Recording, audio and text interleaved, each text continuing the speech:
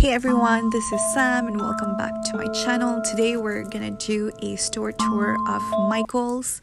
Um, I didn't take any videos of Spooky Town because it's all in their boxes.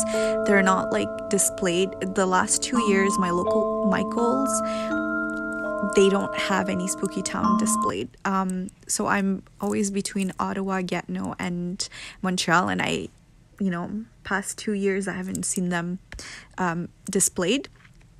I did buy the um, Helga's hats and I had to return it because it was the last one and, and the parts were falling apart.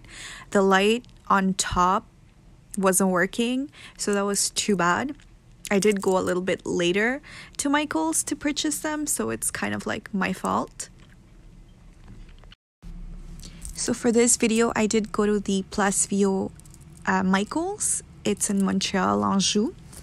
And um, there were a lot of paper mache, like decor, uh, vintage inspired decor, and some uh, fortune teller decor. So sit back and enjoy um, what's left at Michael's.